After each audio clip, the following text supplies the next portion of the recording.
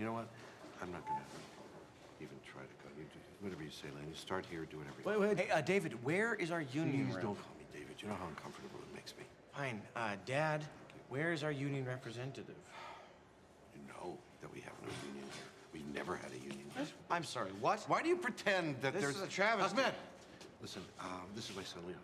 He is very anxious to plumb the depths of the packing department. Why don't you show him what to do, where to start, and all that? And uh, if you problem, any whatsoever, you come upstairs, you talk to me. Uh, Ahmed, you have any problems with him whatsoever, you come upstairs, you talk to me. All right? Uh, good job. You're wasting a little plastic, but you'll get better at it. Fascist? What'd you say? Uh, fascist? He's a fascist.